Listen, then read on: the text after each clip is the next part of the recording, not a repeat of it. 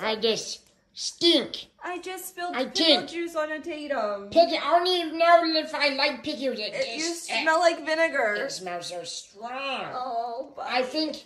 Don't quote me, please, but I think I'd rather have a bath. Oh man, get off you me. really